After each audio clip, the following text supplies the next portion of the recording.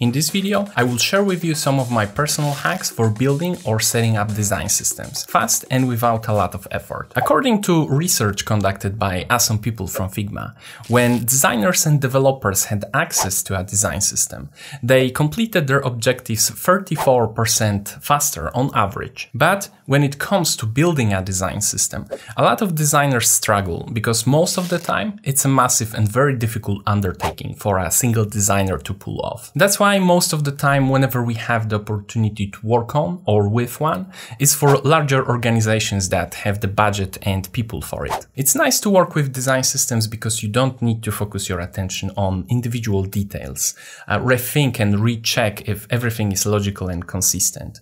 You can build what you need like with Lego blocks. By building a system of reusable components for a project and defining the rules for their usage, we make it easier for the whole team and we are able to focus more on strategic steps of the design process like research and validation. So what can you do if you want the benefits of working with a design system, but you don't work for a large organization or don't have some designer buddies to help you? You could try to build one yourself.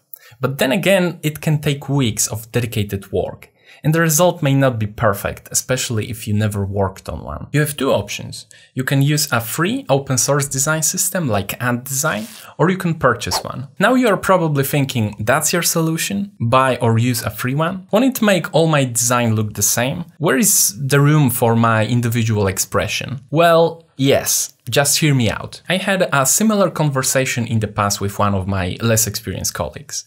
He was very much against using premium templates or working with external design systems because he considered them as cheating. A true designer does everything by himself, he said. And my response to that was, okay, but by the time you finish one project, I will be able to handle three or four at the same time, with utilization of external resources that I have legal rights to. Which approach do you think is more beneficial to the organization that we are working for? Don't get me wrong, I'm not against original works, especially if you have time and capacity to do them. But in the professional environment that most of us designers operate in, most of the time we need to choose on what we spend our time, because we are being accounted for the outcomes we are providing. But what about individual expressions? Well, once you have access to a design system, either by purchase or open source, you can modify it any way you like, and you can design anything with it. You want to follow the original guidelines that the creators put in place? No problem. You want to create your own style and system out of it? That's also a possibility. What's the most important is that now you have access to resources that can help you speed up your workflow. You can also preview how it was built, what principles were used to build it. Then you can use that knowledge in your future works. So it's also a learning material. Okay, but where and how I can get one for myself? I have mentioned Ant Design already.